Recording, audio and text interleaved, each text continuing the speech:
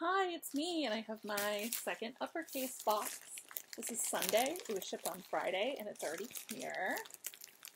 It's shipped from Florida, and I'm in California. So really, really awesome quick shipping this time. Let's see what we have waiting for us. So as usual, everything is contained here. And Whoa, cool stuff so far. First things first.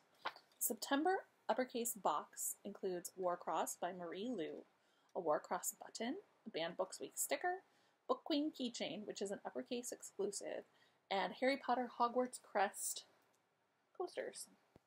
So this says Player Hunter Hacker Pawn, and that I can only assume relates to this. This is a signed copy of a Marie Lu book. I've never read her. She did the Legend series and the Young Elites series. This looks like Warcross is an online game. Um, looks kind of interesting. Here's the Words Have Power Read a Banned Book sticker. Here is the exclusive Book Queen keychain. Very cool.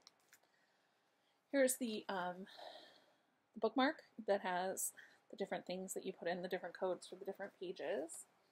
And then here are some Hogwarts Crest coasters. Gryffindor, Ravenclaw, Slytherin, and Hufflepuff.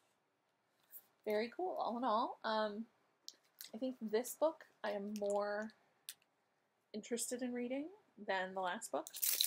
Um, says this is one adrenaline rush of a story with fast-paced virtual game, a secret mission, and plenty of surprises. You'd be hard pressed to put this action-packed book down. Um, looks like Lisa has curated a pretty good box this this month, and I'm kind of excited to read this book. So hopefully my next thoughts from my next video will be all about this book. Thanks for watching. Bye.